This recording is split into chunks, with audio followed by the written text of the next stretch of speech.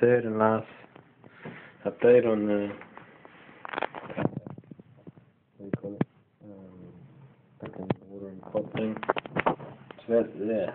So it's pretty much the same as the smaller one, the one liter, but it's got more volume of water and more soil, obviously, and two plants.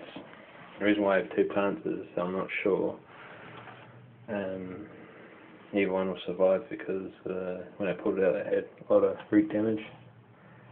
So, yeah, I've doubled my chances of a successful plant. Successful, fuck it, whatever. You know what I mean. So, um, yeah. Another thing, if you guys are really keen on basil, or making lots of pesto, is that with your basil tree, see these? Ah, fuck, you can't even see it. Okay, it's better. Right, now here we have two shoots, these ones. They're your next branches, right? So, if you want to make that as a cutting, what you do is you snip there, and you put that in some water, and have it in full sun. Not full sun all day, but bit of both. And then once it's been there for like maybe two or three weeks, it'll um, start to root.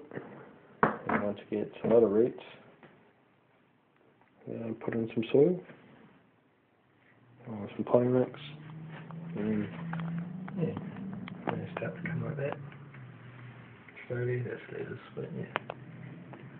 These are planted probably about three or four weeks ago. These have probably been sitting here for probably like three months. Yeah. And these here uh, are Thai basil, so that's in there. Slowly into roots on it. That's been in there for a while. I think the water's too warm. And if the water's too warm, it'll do that. So whatever. Yeah. One litre, three litre. Let's see how that goes. Yeah, so hopefully that works. Fuck. Alright. See you later.